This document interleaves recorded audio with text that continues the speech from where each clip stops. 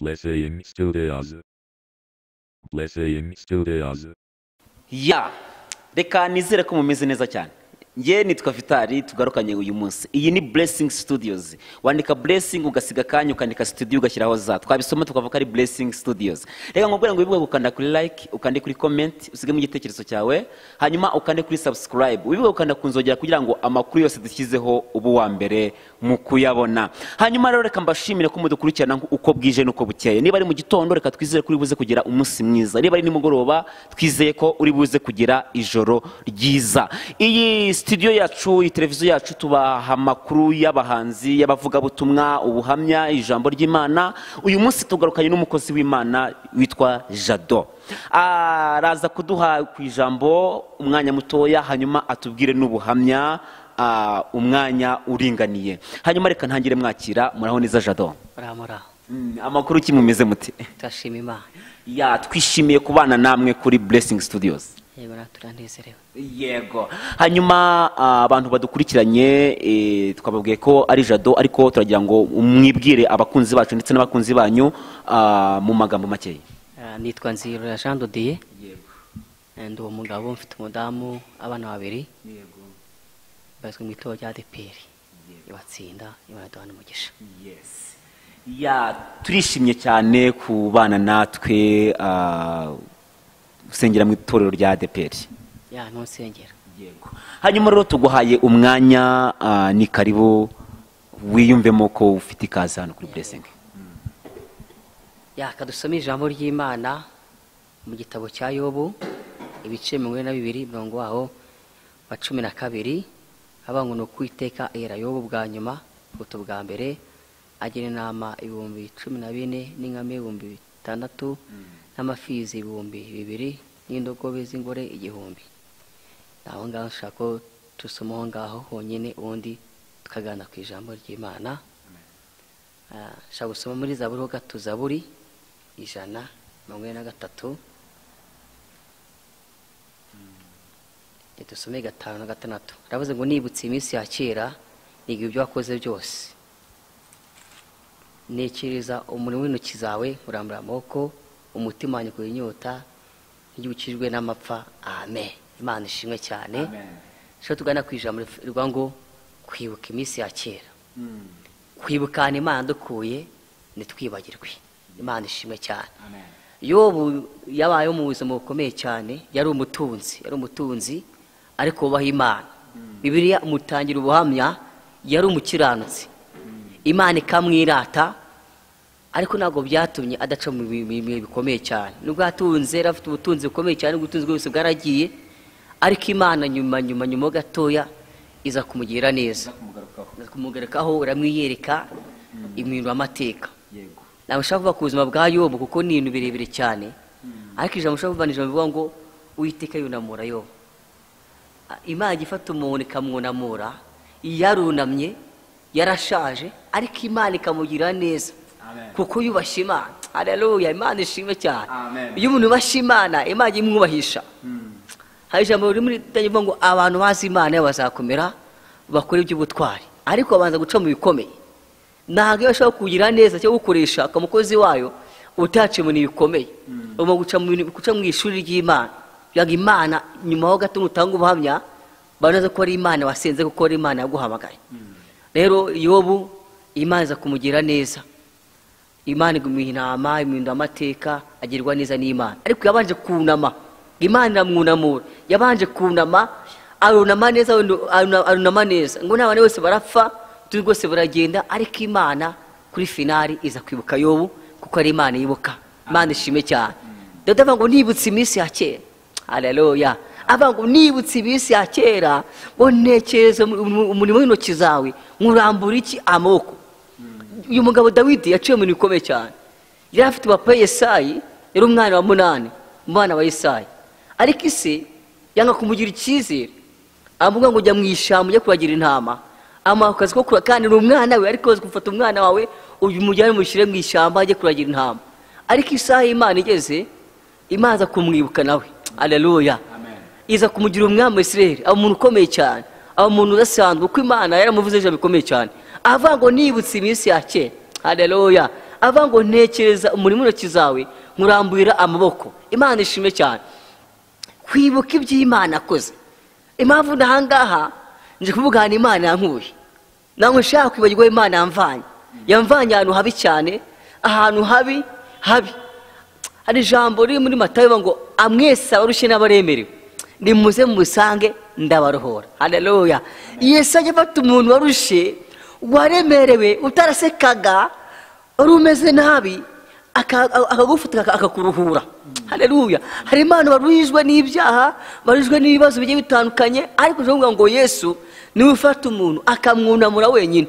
Kuko abantu ntabwo bakunamura. Abantu ntabwo bakugira imana itakurengeye ntacyo umuntu yakumarira. Imana ishime cyane. Ariko imana yakwibutse n'abakuviyeho bose bose bose bajya bagaruka. Haleluya imana ishime cyane. Ngo nibutse iminsi ya kera. Kwibuka iminsi ya kera aho imana dukuye.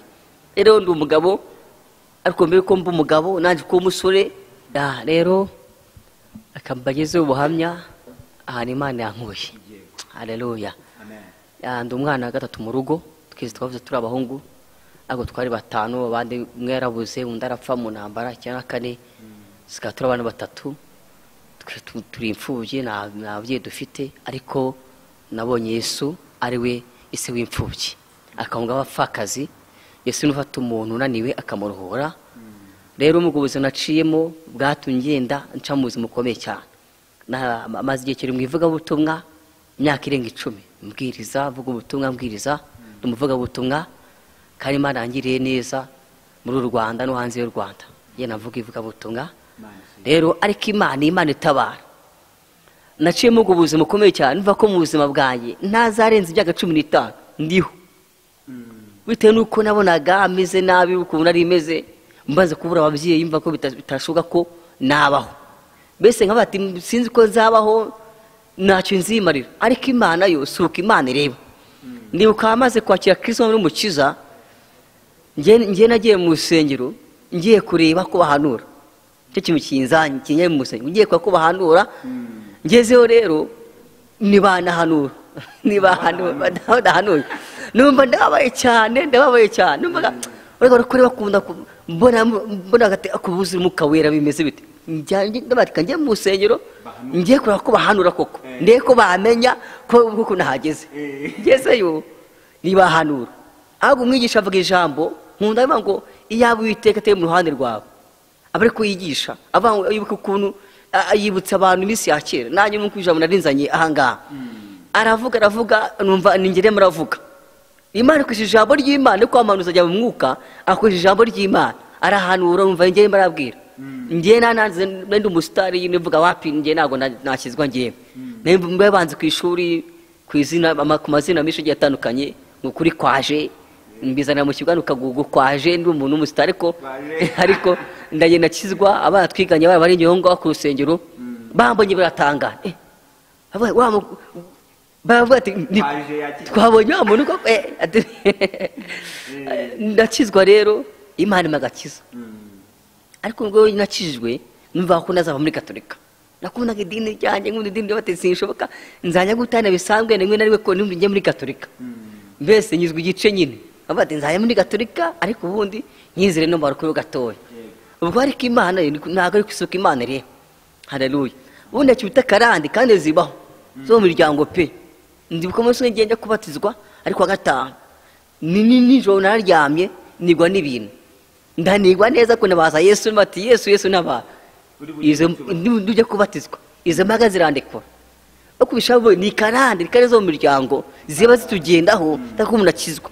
Ariko umaze kwakira kirisito ndabatizwa amazi menshi imana yuzuza umwuka wera. Haleluya. Ntajya kuvuga mu ndimi imana ikaba inkoresha ibintu bikomeye cyane. Rero ntagira ivugabutumwa barambwa ngo umwana wanjye nzakugira neza nzagukoresha ibintu n'ibitangaza uzavuga- uzamvugira uzankorera. Nkumva bidashoboka. Numvaga bidashoboka pe. Ariko imana si uko imana ireba imana yatumye kera kera cyane. Tutari twaba tukiri gusoma mu nda za mama wacu. Imana yari tuzi ko tuzaba abakozi b'imana. Haleluya rero imana ishimwe. Kwibuka iminsi ya rero icyo gihe imana njya gusenga. Ngo ngiye gukoresha. Ugiye kuba umukozi wanjye. Ahubwo ugiye kwiga ishuri. Iryo shuri imana ngo ngushyize mu ishuri uzaba ikibazo. Uzaba uzaba ikibazo. Bizaba n'ikibaho. Ku buryo hanazakwandikaho amazina menshi. Numva ko bitashoboka ariko imana kuko nabibonye kuko imana irigisha icyo gihe hari umuntu wambaye ikoti ngeze nsengera atwite. Namwana imana yambwiye ngo imana yinkurishije yindi yamubwiye njya gusengera iwe mu rugo nyine ngiye kumusengera atwite arabyara. Ambwira ati umukozi w'imana reka reka muhamagare. Ngiwe mu rugo amikote amakositimu ipantaro mbese kositimu nyine. Ariko yambaye ibintu binini cyane. Ama ibintu binini cyane ikositimu nini cyane na yo mpipaga ibiro mirongo ine umugabo apima mirongo inani amikote ry'umugabo kositimu umugabo aravuga ati umukozi w'imana rwose igihe nambara ikote rwose byari byiza. Ariko bitewe n'ukuntu anganaga ndi mutoya. Tayi iyo kote ukuntu nanganaga cyari kinini cyane ubwo ntangira ivugabutumwa ahubwo kumigenije mu igihe ashima imana yambwiye kuba agiye kunyita amazina menshi agiye atandukanye. Najya mu ivuga ati umukozi w'imana yaje bakavuga ngo kizibaho yaje. Buriya nabwije abantu bagiye batandukanye banzwe izina rya kizibaho. Nko mu kivu cyo mu mujyi za nyarutarama hari kimironko kwa adeperi mu izindiro. Hose ni za masiza mu ivugabutumwa ntambaye iryo kote. Ntabwiriza nkanyabona ubufashwa cyane ku bantu bagaseka. Bitewe n'iryo kote ukuntu? Ryanganaga bagaseka. Nk'abate abantu bafashijwe nkataha nishimiye ko abantu bafashijwe. Kumi ni ubuzima nari ririmo iryo kote ukuntu ryanganaga. Banyita amazina rero kizibaho. Ngo bikanzu bitewe n'iryo kote nabaga nari mfite ikote rimwe ryonyine. Najyaga kandi buri munsi najyamaga buri munsi. Ubundi abantu benshi banze kwambara amakote ikote iryo kote. Nibo bantu banze ubwo buzima bunzimo cyane bati wa mukozi imana rwose iranuka ubundi uri mu ishuri ry'imana niyo umuntu akubonye abona unuka. Ushobora kumwukira abantu. Bitewe n'ubuzima yibereyemo. Kandi aganoze nisize amavuta ntabwo nagize. Ariko bitewe n'ubuzima. Umuntu yambona yaba ati kuko munanuka koko?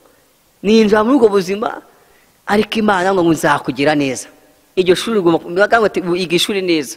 Ni ishuri ry'imana ariko imana ngo ati mwana wanjye nzakugira neza nzagurinda amateka.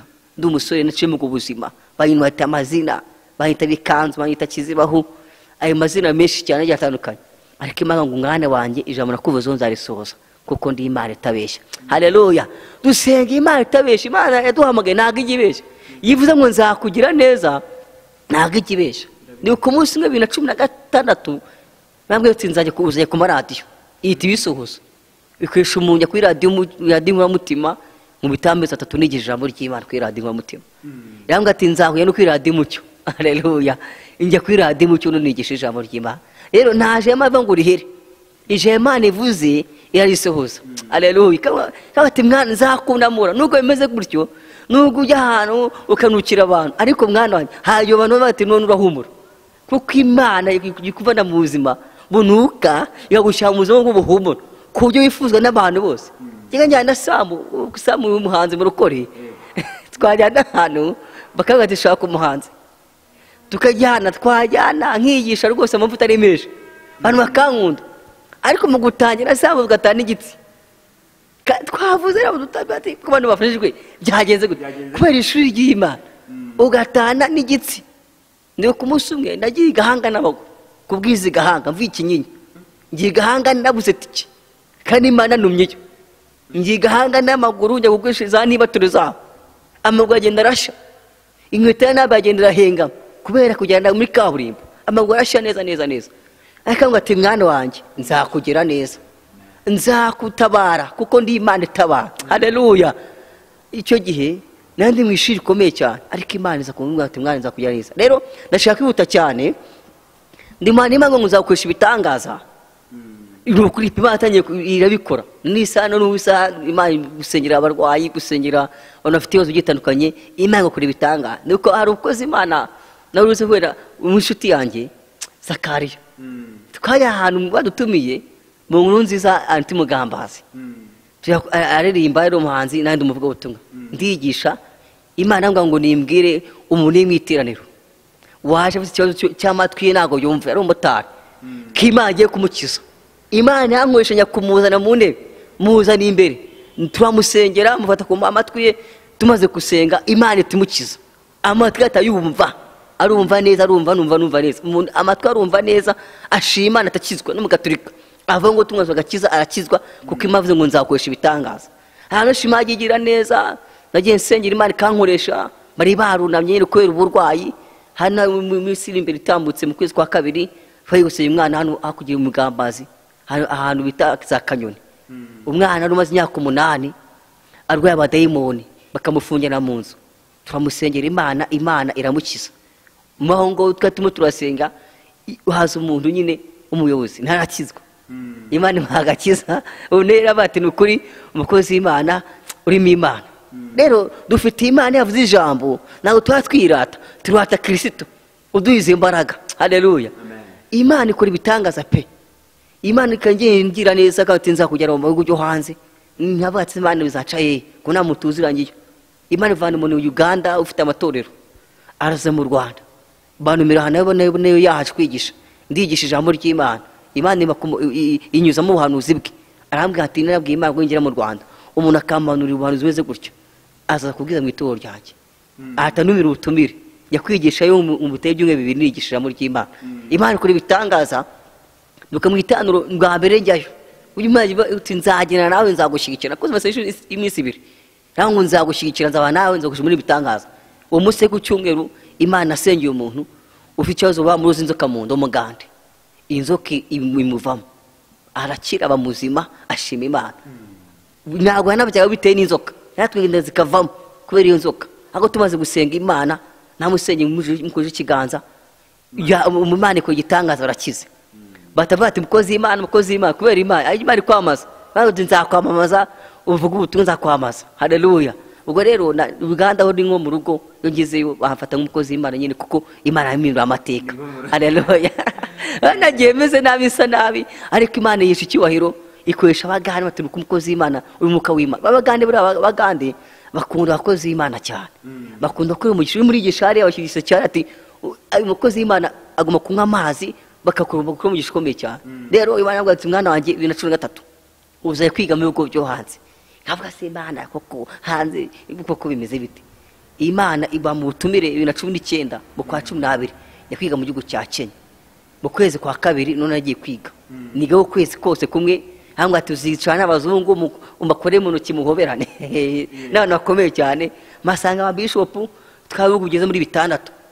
Harimo ababishopu gusa abantu b'inda nyine bakomeye cyane ubona ko bafite ijambo rwose bavuga ati rwose pe.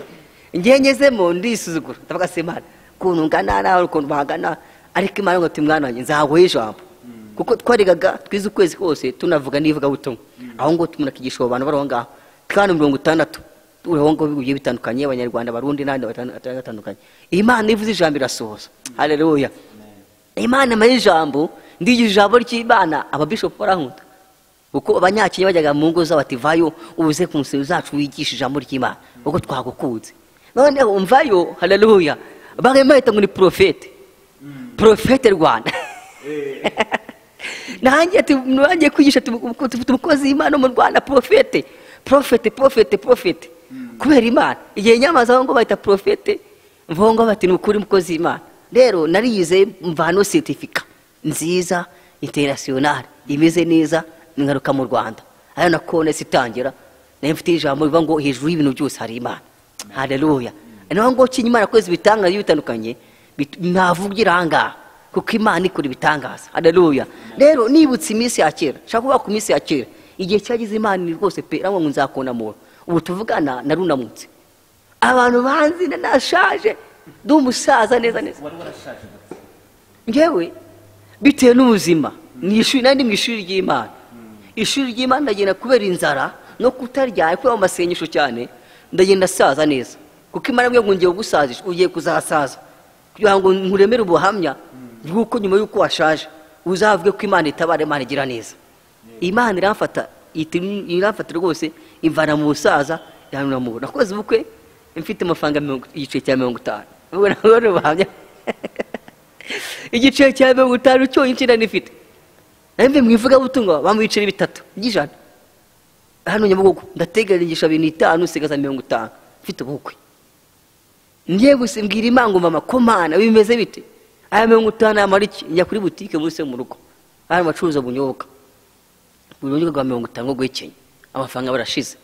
Mbwira imana ngo rero ndabizi bamwe kuza mu bukwe nta kintu ufite. Yarabimbwiye ati nzakora nta kintu ufite kuko utazirata ko nawe ufite n'ahantu kugura kuba nagurisha ariko biranga. Inzara zose ziranga. Yaba imana azanywera ubukwe nta kintu ufite. Umuntu twari kubana yari umuntu ukomeye muri gisozi. Hari n'umuyobozi. Ariko imana ngo ngumva nzagukorera ubukwe kandi wowe bizacamo. Kandi nta n'akazi mfite nakubiswe nyine ndi mu buzima. Ariko ubukwe bwarabaye. Abantu benshi batangara. Icyo gihe bahitaga muzehe no ku busemineri kanywa bwa mbere bose- uwo musa- abantu bose bahagurutse bakubita amashyi ati imana ishinga musaza imana igiye kumurira mutabaye. Bose bakubita imana bashyita umusaza imana mutabaye. Imugiriye neza. Imana inywera ubukwe. Izo senga ndayirya mu bunyobwa nsigaye nta kintu ufite ku munsi wa gatanu none apanze. Mbona ibintu byacanze mbona ibintu byacanze ushaka gucika mucike nigendere. Ndibuka twagiye na, madamu tukiri abo nyine umusore n'ari umukobwa. Tujya gusengera ahantu ushaka imana tuvuga bari bantumiye madamu bamubwira tuva rero. Umuntu muzabana ku munsi ugenda uko ugenda kuba. Azacika amere nk'umusazi. Ati uzabireba. None ubu na- natanze invitasiyo amaranywa ngo ntabwo bazagutwerera kuko byabayeho. Abantu bagakuntwerera ariko kuri finale imana ikoresha abantu. Nawe ngo nzaca mu nzira nzakwishyura ndakeka iyi mana kwishyura ntakeka ko bakora. Aba ari imana icamo inywera ubukwe. Hareruya mfite igiceri cya mirongo itanu ni cyo nakiriye uyu nakiriye ubunyobwa senkani none ku wa gatanu ube umuntu avuga ati va ngutwerere none umupasiteri anywa ibihumbi icumi avuga ati nta magana atanu. Ugakoresha imitiki ijwi rirambwe satani satani burya ajya avuga satani avuga ko ak- akakongorera ijwi ati cika cika ugende ugiye guseba. Wavuze ubutumwa mu rwanda uhanze koko? Kuko uri umukozi w'imana cika wigendere. Kuko ijwi ndaryumvira. Ndacika ndagenda. Njyana nyabugogo umuhanga n'abantu se ko umukozi we ko ugiye ufite ubukwe ati ndahangane murashobora gutunga ahangane murashopinga ahangane hano hafi. Bumwe ndacitse gihe ninjira hano muri gare nyabugogo kampani na timitani ikorera bakatera amatike. Nshaka gucika neza byarangiye ngiye kwishyura itike. Amafaranga nari mfite ijwi rirambwira ngo nzirorera rikaraba ati subira mu rugo kuko ndagutabara. Navuganye nawe. Ndakata. Hareruya namubwira ngo abantu bakora ubukwe imana irakura amakwe. Imana ishyigikira umuntu wayo umuntu asenze bakubaha imana. Imana ijya imushyigikira imana ndashaka kwihuta cyane kubw'umwana dufite ahangaha nta mu rugo imana inywera ubukwe. Nambara imyenda isobanutse imeze neza. Ibyo kunywa biraboneka byose biraboneka. Imana iruha amateka y'ubuzima bwanjye. Noneho ntagira ivugabutumwa neza kuvuga n'ubwiza none ivugabutumwa rimeze neza kuko imana igira neza. Imana rero yangiriye neza yafashe iramura imvana hasi ubu ngubu rwose ndashima imana. Ko imana irimo irangira neza irimo iranambagiza. Ariko abantu ba- ba- badukurikiranye ba- ba- bashobora kugira amatsiko. Mm. washaje gute? Nashaje gute? Ni ubuzima. Ubuzima. Ni bwo bwatuye insaza bitewe n'inzara. Ku buryo umuntu wese akureba akabona ushaje neza neza neza neza. Kuko mfite ibihamya abantu bose ba- ba- ba- bakurikiye rero bananzi bo ubwabo batanga n'ubuhamya. Abantu banze hano batsinda hirya no hino. Bo batanga ubuhamya. Banzi neza. Nashaje gutya ntarwanye nta- nta gicurane ntaki ndasaza kubera inzara kubera ibibazo kubera gusenga. Ndasaza neza neza. Kuko nijoro imana yabwiye ngo nzagusajisha ariko nzanakundamo kuko ndi imana Imana yakubwiye ngo nzagusaza he rabimbwira rambwa ati nzakunamisha wuname kugira ngo nyuma utange ubuhamya nakugire neza bizagaragare neza bizumvikane neza rero imana indura amateka ubu tuvugana rwose imana ngiriye neza nyuma abana babiri umuhungu n'umukobwa madamu wanjye n'umukuru bati nubwo mushakanye ntabwo inzara izabica ntabwo tuvugana nta nzara ntishobora kugera iwanjye inzara ndarya nkanywa ibintu bikagenda neza. Bakavuga ati nubwo mushatse ntabwo uzaba igitero Bati, imana ikavuga ati mwana wanjye umudamu azambara. Ubu iyo turi mu muhanda tugendana bavuga ati uyu mukozi w'imana imana amugire neza. Rero imana iratabara imana ihindura amateka. Rero nibutse iminsi ya kera. Niyo ndavuga nkubwira abantu bateze iki kiganiro amatwi imana ijya igira neza ubuzima bwose nta imana itavana umuntu nta na imana itageza umuntu. Bahitaga urutoto bitewe n'ukuntu narumye banyita ngo bikanzu bitewe n'ubuzima nari ndimo ariko tuvugana ni imana igira neza dusoza rero ni imana ihindura amateka iyo umuntu yizeye kirisito ukamwizera ntu- ntukore ibyaha uka- ukarinda ubushake bw'imana imana ijya ikora ibintu n'ibitangaza ku buzima bw'umuntu amateka agahinduka ndashobora kuvuga nkavuga ngo rero imana ihindura amateka babwira ngo twibuke iminsi ya kera hareruya twibuke iminsi ya kera ko kwibagirwa aho imana yadukuye. Kuko hari impano wibagiwe ariko tukwiye ko twebwe nk'abana b'imana n'imana ikugiriye neza reka kwibagirwa. Aho imana ibuka. Dawidi yibutse iminsi ya kera. Nanjye narimo ndibuka iminsi ya kera mbabwira ngo mureke imana ihindura amateka kuko imana ivana hasi ikazamura. Rero dufite imana igira neza. Nashaka gutanga uvuga ngo nibutse iminsi ya kera. Uburyo imana ifata umuntu ikamwunamura iyo arunamye nta- shusho ubundi mu buzima nta shusho umuntu afite imana ikamuha ishusho rero imana ishimwe cyane. Shaka ko dusoreza aha ngaha. Wenda nimwishaka nzagaruka wenda noneho vuga ijambo ry'imana. Kuko niyo mavuta mbamo amavuta yo kubwiriza ijambo ry'imana mu rwanda no hanze yarwo. Kuko imana igira neza. Rero imana iba umugisha. Kuko nga tugira icyizere mukadutumira ngo tujye tu- tujye tubwire abantu uburyo imana itaba. Uburyo imana ifata umuntu ikamwunamura yarunamye. Imana irambika. Umuntu asigaye yambara neza pe. Mbere bakwitaga gikote. Mbese bikanzu. Mm, kizibaho.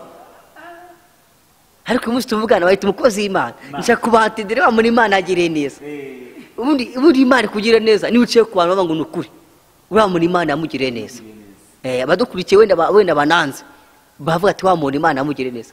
Ati imana yamubyuhije yarabyibushye. Ndabona rwose yarabyibushye ameze neza. Twe twarumye.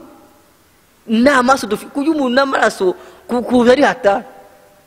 Wajya kwa muganga bagapima bakabanza bagashaka amaraso reka da kugira ngo bayabone bakayabona.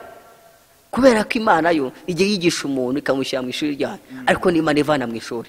Nkababwire ngo rero wowe ufite ubukwe wowe imana yabwiye ko izakugira neza humura ntabwo ijya ibeshya nta jema riva ngo rihere ijema rivuze ryose rarisohoza rero ndimo ndasoza ntabwo mbashimire. Nzagaruka. Eh, reka mbashyireho amatsiko nyine mbashyireho amatsiko. N'ubu nzagaruka ikindi gihe ibintu tubonye tuvuga imana. Rero imana ibamugisha Eh, mukozi w'imana jado turagushimiye cyane. Ni nanjye ndabashimiye. Ah, mu by'ukuri ah, muri iyi minsi abantu bizezwa n'ibintu bi- bi- bigaragara. Hari abantu babwira ngo narashaje ndasaza abantu banyita muzehe abantu bakaba batabyemera. Hari ibihamya bi- bihari bifatika bya- bishobora kwe- kwemeza abantu koko ko ibyo bintu byabaye? Mm, cyane rwose. Ari abanzi uriya abantu batanga ubumenyi ugasanga arabeshya. Ntabwo se barashaje. Njya mwitanu bakavuga ati "Umu- twakire muzehe. Atubwire ijambo ry'imana. Iteraniro rigari bakavuga ngo twakire eh cyane. Narashaje. Ariko ubu ngubu wenda nk'iyi foto nkangaha nari ndi umunyeshuri. Nkangaha nari ndi umunyeshuri niga ku kigo cyitwa adebi kuri adebi ni ho nize ngewe ni ho Yego. nize ibintu by'ubwubatsi narashaje ahangaha ahangaha ni muri adebi na yo ivugabutumwa ku kigo. Ariko ndasaza iyi foto iyi foto iyi ngiyi ukuntu umeze ahangaha. Nari nashaje neza neza kandi ndi umunyeshuri. Ni mu ishuri ry'imana. Nkangaha iyi foto nk'iyi foto. Reba nkangaha oya cyakora nawe ndabibonye aya nkangaha nk'iyi foto reba ukuntu iyi foto ukuntu reba nkangaha nkangaha nagiye mu rukiko ngo warebe inkanyari rebe nkangaha urabona aya mata agira neza koko imana igira neza none ureba nkangaha noneho rero. Iyi foto umudamu wanjye dore nguyu. Urabona ukuntu umudamu wanjye asa Mm. Eh, ni inzobe urabona ukuntu ameze nyine. Nanjye na nkangaha nakuze ubukwe ndashaje dufite imana imana irahari. Dufite imana ifite imbaraga kandi imana itabara Mm. Eh, ni ukuri ni imana itabara nawe ni umugabo uvuga ko imana igira neza. Njye nkunda imana cyane. Mu buzima bwanjye bwa buri munsi barimo ndasenga. Barimo ndasenga barimo ndakwera imana. Imana ariko buriya jado iyo wibutse eh, iyo urebye no mafoto ukareba n'uyu munsi ukuntu ibintu bimeze.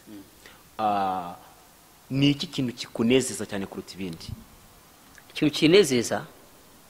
Ni uko imana ivuze ijambo. Irabikurikirana yarikurikirana ikarisohoza reka nkubwire ntabwo imana ivuga ijambo ngo riyobe umuntu yavuga ibintu agusezanya ibintu ntibisohore ariko imana ivuze ijambo ntabwo ishaka kuyoba. Irabikurikirana yarikurikirana paka risoje.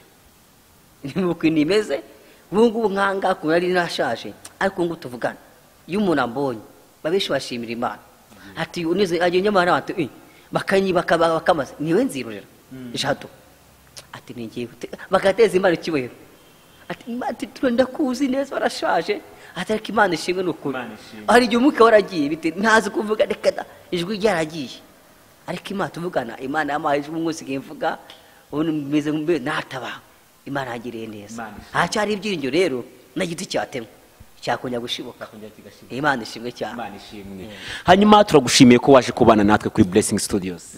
Imana y'umugisha reka dusoze dusenga imana. Ushaka kuba urushye ikintu cya mbere nakubwira. Bene hambere ni ukwakira kristo umwami n'umukiza ukamwakira umutima wawe akaba muri wowe.